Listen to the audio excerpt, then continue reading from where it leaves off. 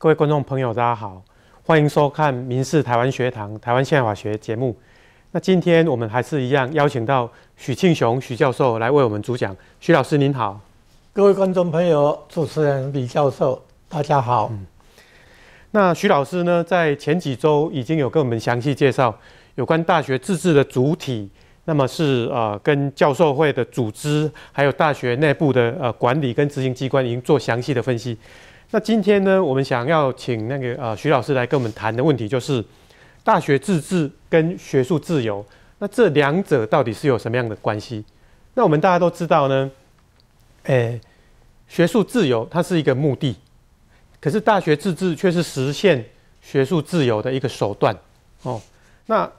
在我们目前的大学法第一条第二项也提到，大学应该受学术呃自由的保障，而且可以在法律范围内。啊，享有自治权，所以大学的自治是可以用法律来加以形塑它一个啊框架。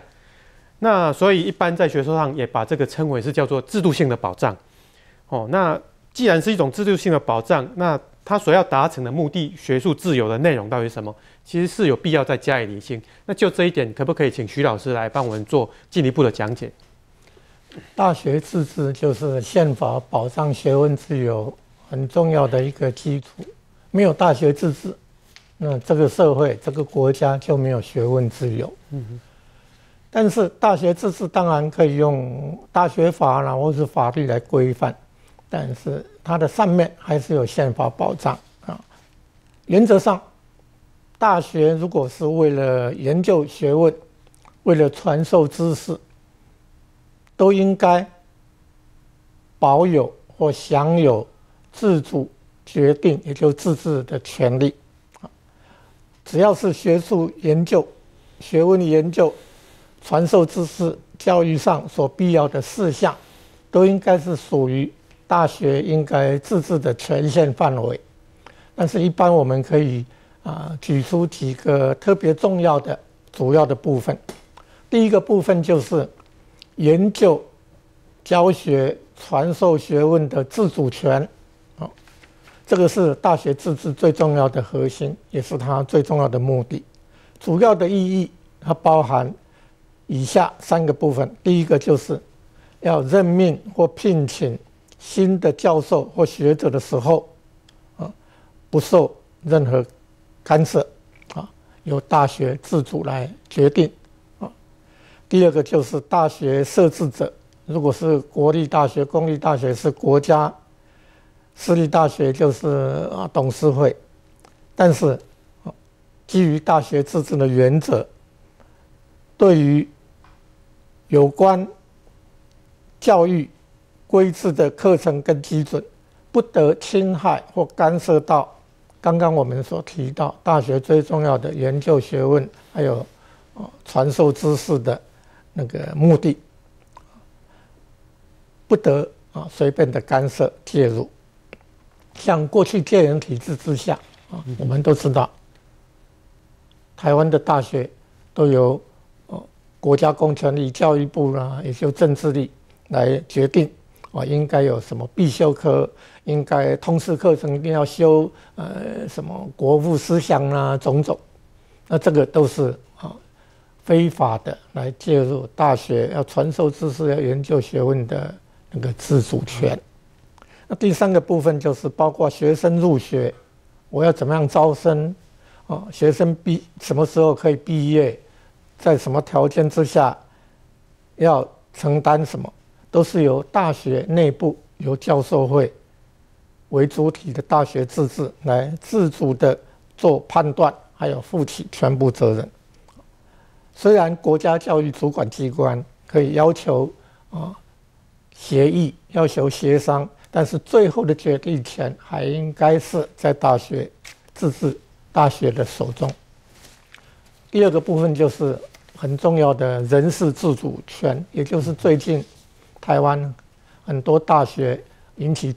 争议，特别是台湾大学的校长人选的呃遴选的问题。基本上，如果是一个有大学自治的国家，有健全的教授治校的国家。那这个人事的自主就变成是一个很重要的部分。国家或外部或是私立大学的董事会就不能介入干涉啊，大学要聘请什么研究者，要升等的问题，或大学的行政管理的人事的问题，包括从校长、院长到科系的主任，种种的选择，都是由大学内部、大学的教授、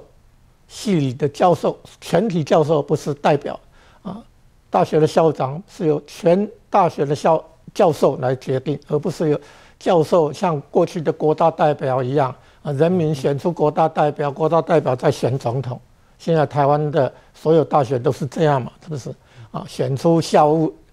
少数几个教授当校务代表，然后校务代表来决定校长投票决定校长的人选，种种，这个都是违反大学自治，要由全体教授共同来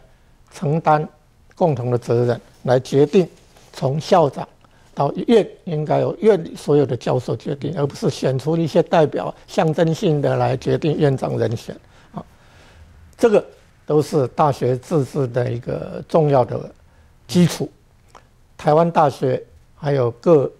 台湾的大学的教授，还有系主任、院长的人人选的问题，啊，基本上是过去在戒严体制都是由政府、国民中国国民党来指派嘛，大学教授对，哪里有大学自治？所以他们说大学大学自治被破坏，多年来被破坏，台湾的大学自治哪里根本还没有开始。哪里有啊被破坏的问题？所以基本上啊，就是由全体教授来选出校长，这个才是正确的啊。除非有特别的原因，否则基本的理论是这样。啊，其次才是候选人的资格的问题啊，有没有违法？有没有啊品格高尚？有没有是领导整个大学要来啊研究学问？要来对社会甚至人类全体做出贡献，这样的使命感，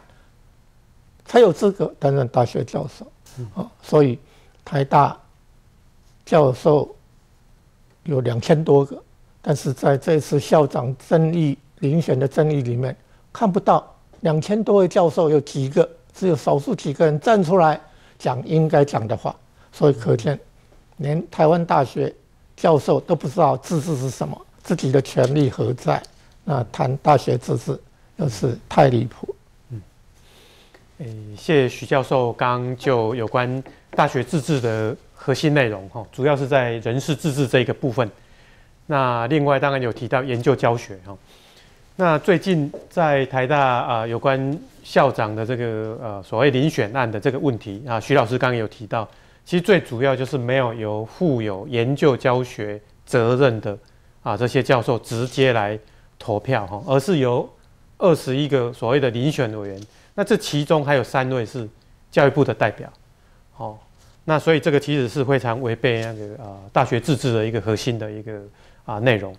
那除了刚刚啊徐老师有提到啊大学自治的内容有人事自治、研究、哦教学等等这些以外，那其实有关学校里面校园的设施、校区的管理。等等，那也是属于在啊大学自治的范畴之一。那这个部分，特别是啊跟那个呃治安机关、哈警察机关或者检察机关等等保持一定的距离。其实就研究者来讲，这个是很重要的。那就这一点，是不是可以请徐老师继续来帮我们分析？谢谢。我们上几集在谈到大学自治发展的历史的时候，就已经指出，过去中十八世纪欧洲。国家的权力，国王率领的军队到了大学地区，就不敢随便进入，要绕一圈经过。啊，原因就是要尊重大学自治嘛。他大学像一个城堡一样，他在里面有自己统治的权限、管理的权限。这个就是校区设施管理的大学自治的自主权。民主国家也都是保障这样的权利。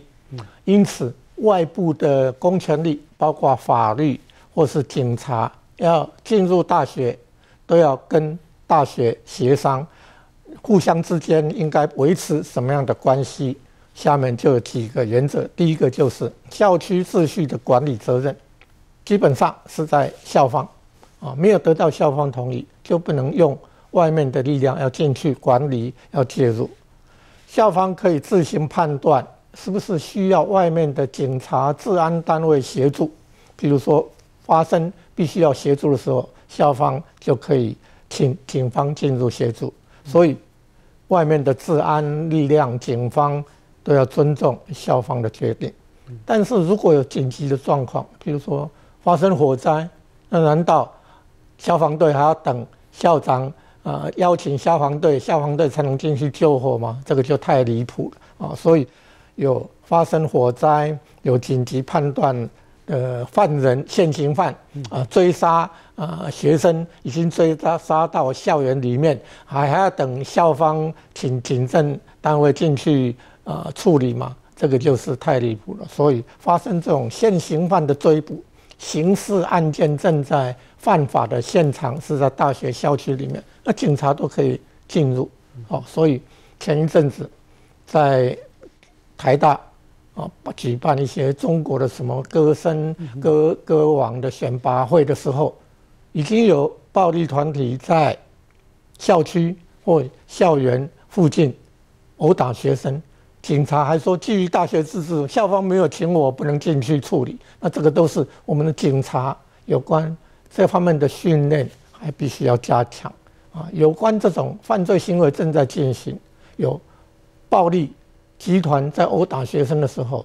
警方就是跟外外面的社会一样，随时可以进入校区来阻止这种暴犯罪行为呃的发生啊。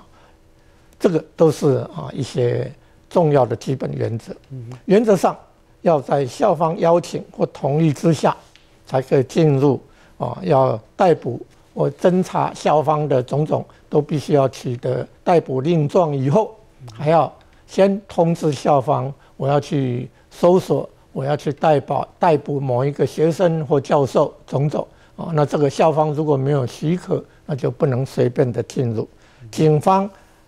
检检警单位要进入校区，比除了校方的同意啊，除了那个呃法院。法官发出的逮捕令状以外，校方的同意也是一个重要的要件。那这个都是校方的自主权，在管理校区的时候的自主权限。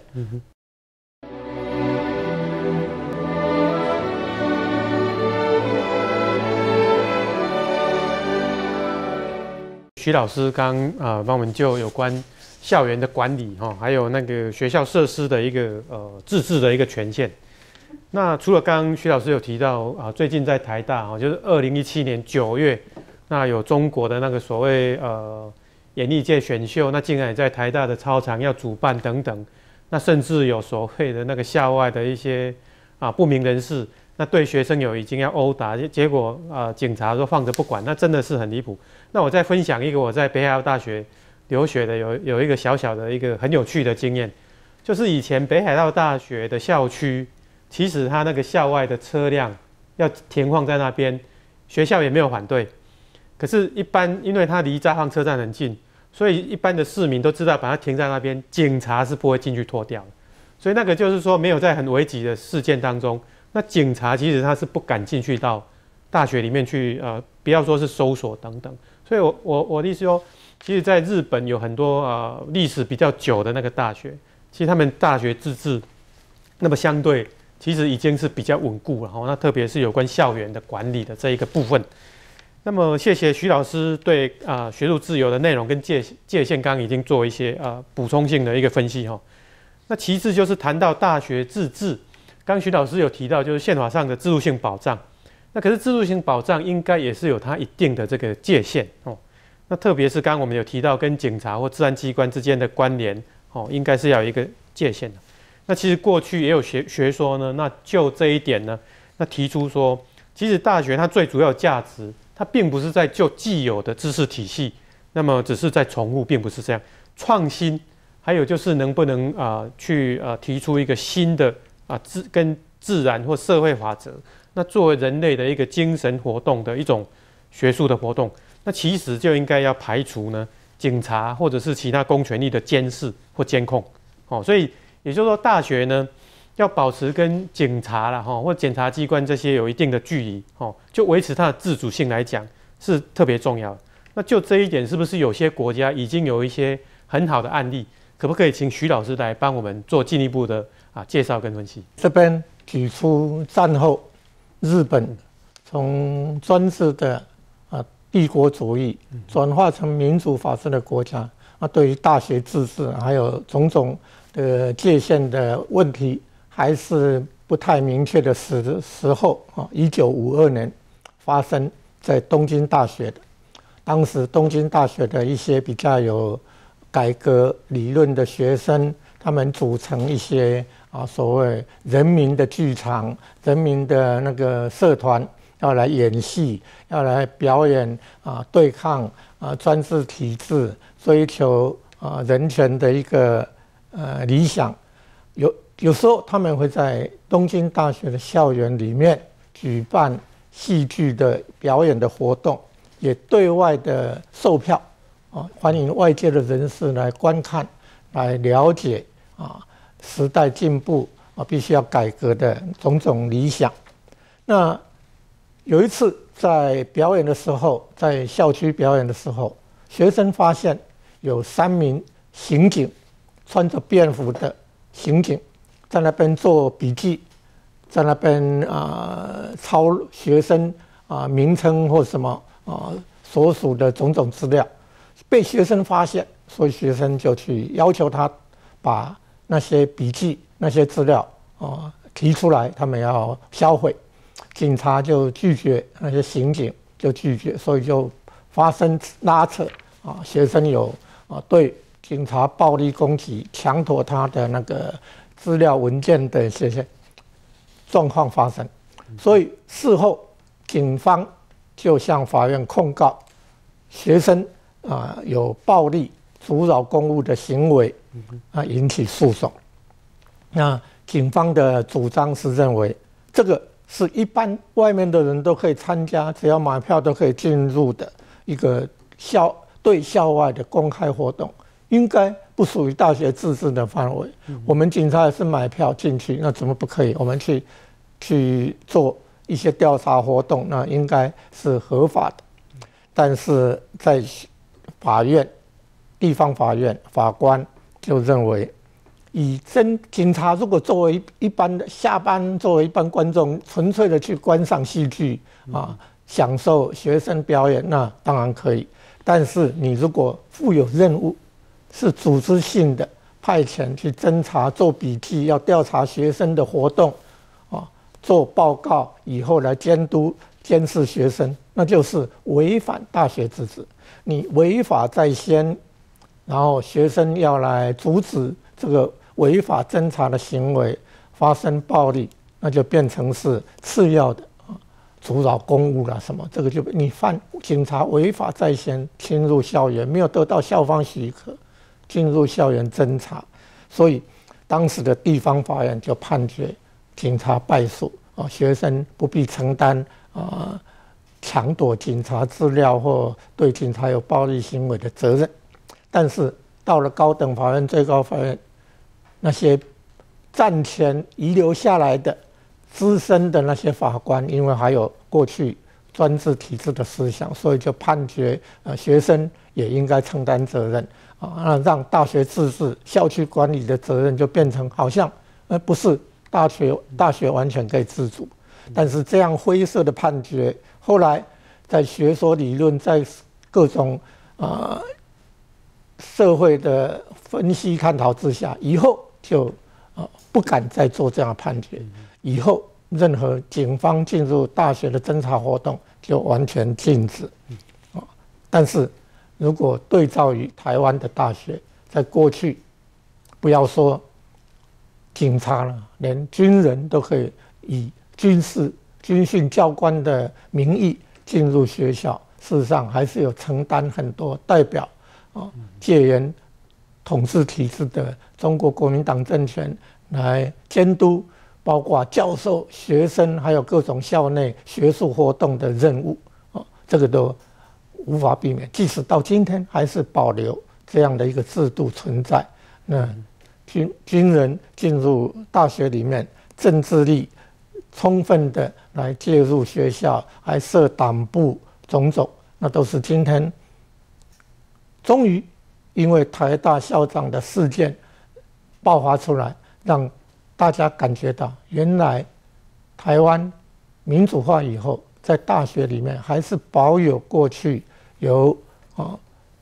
这些跟党国体制形成共犯结构的那么多的教职员、教授，还在继续借着大学自治的名称、名义来违反的啊，行破坏大学自治、学术研究的呃这种事实的行为。所以这个，我想。啊，整个社会不能把它看成是一个单一的事件，应该好好的来思考。不只是台湾大学，所有台湾各地的大学，到今天是不是还有过去戒严时期遗留下来的党国体制？有少数的所谓自称为教授代表，就是类似过去的国大代表一样，来选总统，来选他校长。那这样，这个。怎么能落实大学自治？每一个大学教授应该引引以为憾，应该站起来要求所有大学教授都有治校的权利，才是迈向大学自治的第一步。那除了康徐老师所提到的大学校长的选任以外，其实我们长期以来很忽视了大学内部的啊专任老师的聘任，还有啊学院院长的选任。那或者是系所、研究所啊，这些所长、系主任的一个啊，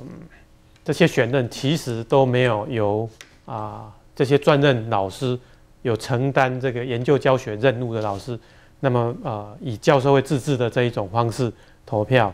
那来啊选出这样的一个呃人选。那台大，我觉得就是说，一般社会把它视为龙头，其实这个案件也凸显出，其实整个台湾的呃。大学的自治啊，可以说是还没有踏出第一步，那是冰山之一角。那另外就是刚刚徐老师也有帮我们提到呢，就是有关那个啊校园内部的这些设施的这个管理。那我记得就是说啊，在一九八零年代末期，那其实那个时候四一零教改一个前提的核心就是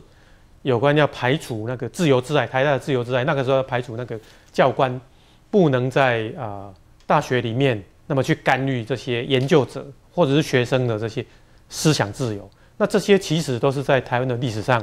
啊很长期的，就是我们还没有建立这样的一个啊大学自治的这这些理念，这些问题呢啊可能就是说在我们今天因为时间上哈比较啊匆促应该是在后续的几几次节目哈，就是应该要再再度的一个呃深入来做这样的一个探讨。哦，那今天因为呃，就是时间上的一个因素，所以我们的啊这个探讨大概就到这边告一个段落。那谢谢各位观众的一个啊观赏，谢谢，谢谢。